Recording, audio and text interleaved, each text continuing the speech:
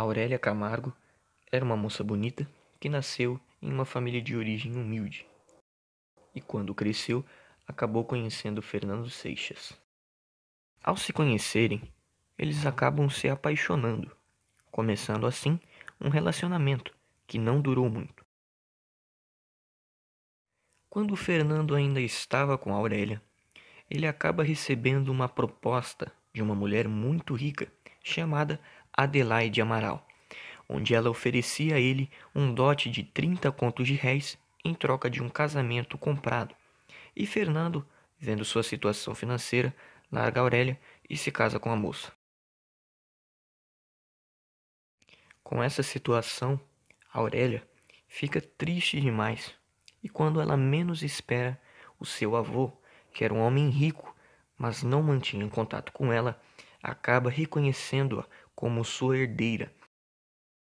Então, quando seu avô e sua mãe acabam falecendo, ela recebe uma grande herança, se tornando então a mulher mais rica e badalada do Rio de Janeiro.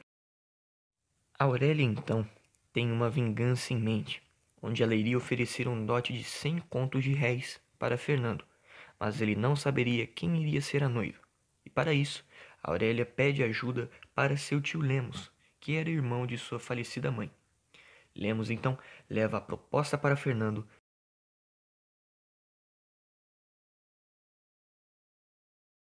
e ele acaba aceitando. Na noite de núpcias, Fernando se surpreende, pois era Aurélia quem havia lhe comprado, e também ela revela a ele qual era o seu plano, que consistia em mostrar para o mesmo que ele estava deixando de ser um homem e se tornando uma mercadoria.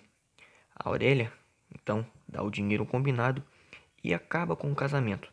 Afinal de contas, o seu plano havia sido cumprido. Fernando, após esse ocorrido, repensa sobre suas atitudes e, para conseguir sua dignidade novamente, ele escolhe por devolver o dinheiro recebido e pedindo perdão para Aurélia. Aurélia após ver a atitude de Fernando, acaba percebendo que ele não era um homem ruim, dando a ele então uma chance. Com isso, os dois que eram apaixonados antigamente voltam a ter esse amor, assim ficando juntos novamente.